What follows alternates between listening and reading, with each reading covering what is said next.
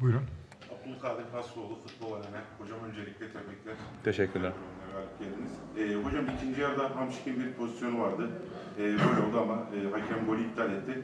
E, pozisyonu izlediniz mi? Bu pozisyonu Pozisyonu ben dördüncü hakemden konuştum. Kura, hani, e, e, hakimin verdiği, hocamızın verdiği kararın doğru olduğunu söyledi.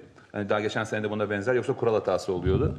Hocanın hakimin verdiği karar doğruymuş. Çünkü direkt e, e, başladığı için e, hakimin kararı doğru bir kararmış. Sonra da bunu içeriden teyit ettim.